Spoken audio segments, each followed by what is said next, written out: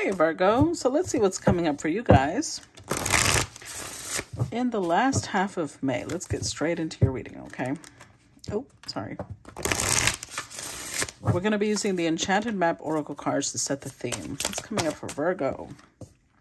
Bone Collector. Ooh. That one came up for um, Gemini. Yeah. No. Taurus. Was it Taurus? Yeah, it was Taurus. This one came up for Taurus. So if you have Taurus in your chart or you're dealing with the Taurus, this could be a situation both of you are dealing with. Bone collector. Let's read the message. It's numero uno. I don't know why I'm saying that like a white person. when I can definitely say that in Spanish. Okay, Bone Collector says, You are whole and have everything you need within. When the bone collector appears, she's asking you to look closely at your circumstances to see if you're fully present or reacting out of past conditioning and unconscious expectations. Whenever we're wounded, especially when we're young, it's as if something essential is stolen from us. We adapt and accept a version of the truth that then sets us up to behave a certain way in the future when faced with a situation similar to the original event. What we know about ourselves thus becomes influenced by a perception of limitation. You may feel unworthy or without courage. You may see yourself as flawed or unlovable or expect to be criticized. The bone collector reminds you that the truth is that you are a powerful being with limitless possibilities. She has kept safe what was stolen from you in the wounding and is here for you as you reclaim it now. You have everything you believe you lack, and the bone collector is your inner resource. Act as if you have what you need, and you'll find you have it after all. Anything is possible. With awareness, the wounds of the past need not define you. So basically, shadow work. You got to do shadow work because this is, I'm going to give an example of what it's referring to. I want you to think of, of a family of kittens that's somehow in a country where there's only dogs. And they're called weird, they're called ugly because these people can't see the aesthetics. Imagine that. Just imagine how absurd that would be.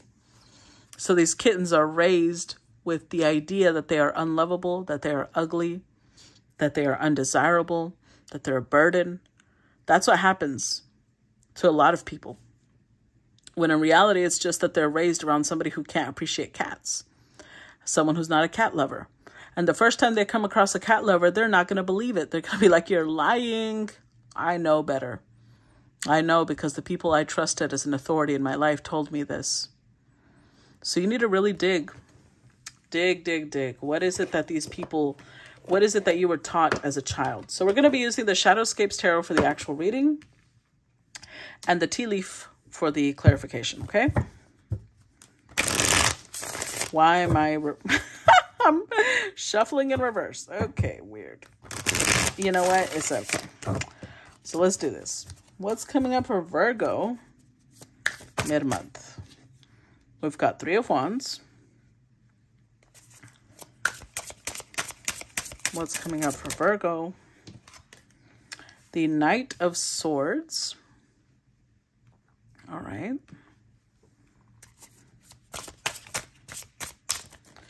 What's coming up for Virgo? King of Swords. The Three of Cups. Hmm. Mm-mm-mm. The Magician. Oh, damn, that one fell. The Fool. Hold on, let me get it.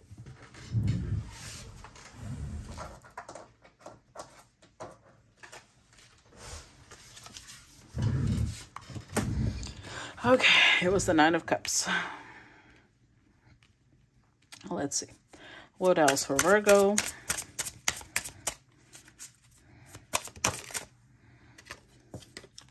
Six of Swords.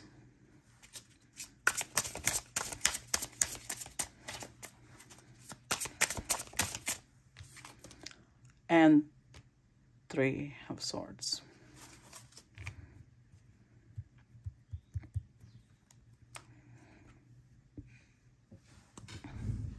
With the Two of Cups. Wow.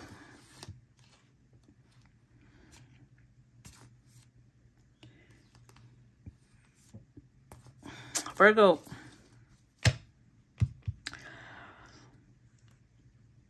I have a feeling I'm talking to male Virgos for some reason. That rarely happens. It's usually very female. So either one, I feel like I'm talking to masculine energy. Let me put it that way. So either this is Virgo masculines I'm talking to, or Virgo, I'm picking up the energy of the person you're dealing with, the masculine you're dealing with, okay? So I see Two of Cups here. Somebody falling in love, but they're guarding themselves against this because this is a new experience. This love that they're experiencing is not something that they know how to handle. It's not something that they understand, but they want, it's like they're curious about it and they're like, no, no, stand firm, stand firm, stand firm. But it's just is mesmerizing. So, Virgo, this could work out a couple of ways. And honestly, it could be that you're a feminine Virgo and you just have a lot of masculine energy in your chart. And that's what I'm picking up on. But we've got Empress energy here. So you might be who I'm picking up. You could be the Empress that I'm picking up on. Um, somebody's in a connection. I'm, I have to say it. We have three of cups, three of swords, and then the Empress. I can't. It's, it's it is what it is. Somebody's in a connection and they're falling in love with someone who's not their partner. Let me put it that way. This Empress could also have Earth energy, Capricorn, Taurus, Virgo. There's a lot of anxiety here. There's a lot of, but yeah, there's a lot of fear. There's a lot of anxiety, but there's also both people feel the potential of this connection. Oh, damn, the lovers. Yeah. Both people feel the potential. So a decision needs to be made. A decision needs to be made about, well, what's, hold on. What is this? What's going to be done? Which way are we going to go? How are we going to move forward with this? Because something is to, something's got to give.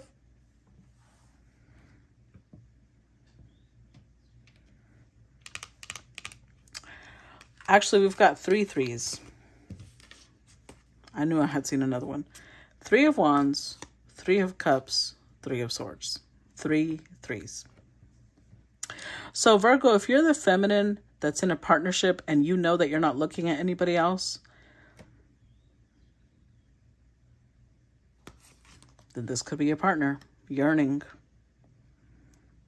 yearning some for someone else.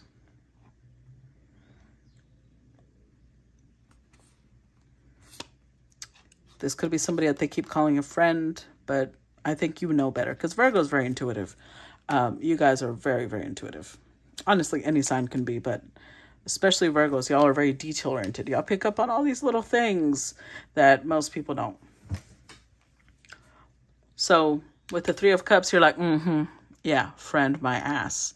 So you're already dealing with the heartbreak. You know, you know that th- if this is your partner, you know that their heart doesn't belong to you. And if I'm talking to a Virgo masculine energy, whether that I'm just going to direct it at that point because I'm not here to guilt trip people really. Um, so, Virgo, you're falling in love. You are feeling hurt, though. It's like it hurts you to hurt someone that you're with. But you're at this place where you just can't fight it anymore. Because I do think you've been trying. I'm going to be real about that. Nine of Wands right beneath the Two of Cups. You've been protecting yourself and guarding your heart and pushing this person away. You've been cold. You've been distant. You've been really trying to stay away from this. And it just didn't pan out the way you thought it would.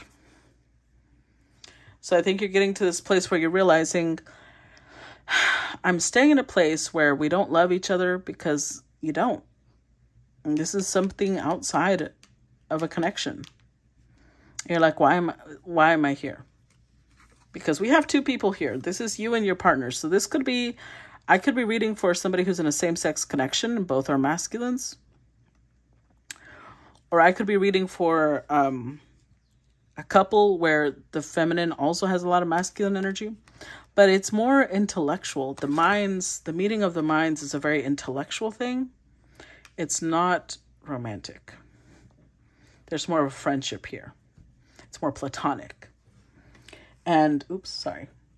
And whatever the other connection is, it's not platonic. So Virgo, I feel like the reason that, you know, you you have associated with this person as a friend and you got to a place where you missed their energy because they have it all. And with the magician, it means that they match you on every level. They match you in intellect, they match you in passion, they match you in emotion, they match you in the material world, everything. They match you in every way. And I think you're at this point where you're like, I just, I want to take a leap of faith. I'm tired of fighting this. Fighting it is exhausting. I don't want to fight it anymore. I know I'm going to hurt somebody, but it's like I'm going to hurt them more by just denying the truth. And there are 10 swords on the table. So, first, two swords. There's been a lot of denial here. And I saw that in, in Taurus reading, I'm pretty sure.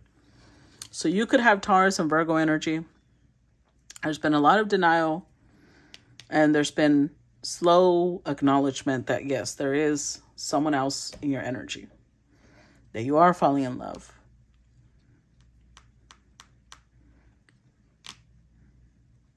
Then came Four of Swords.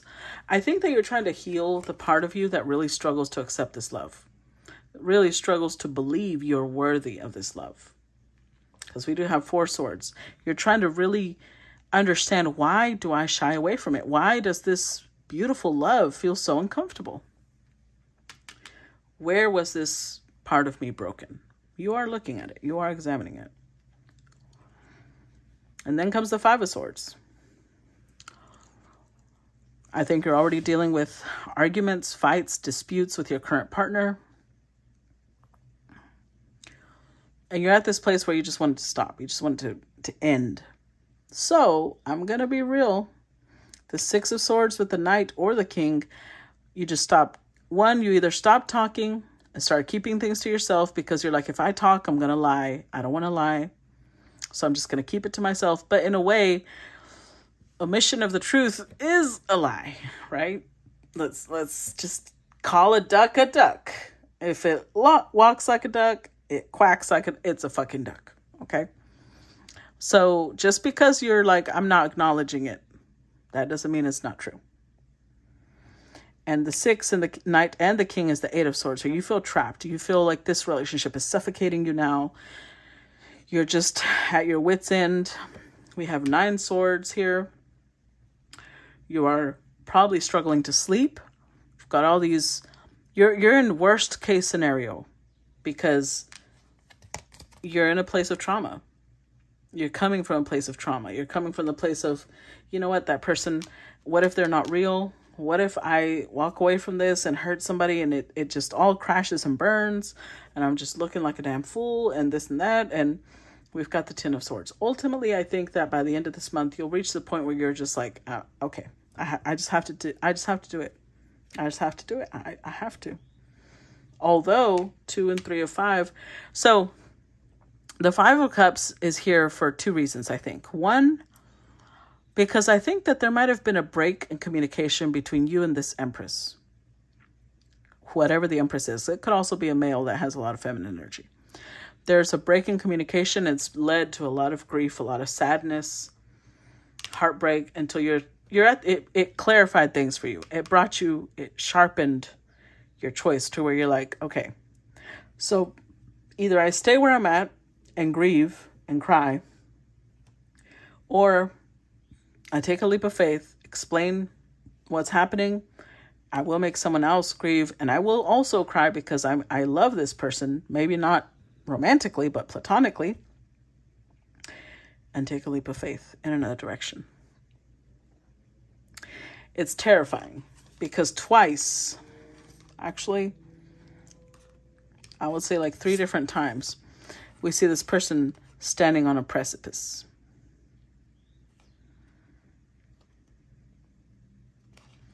If it's it feels like taking a leap into this valley. That's what it feels like.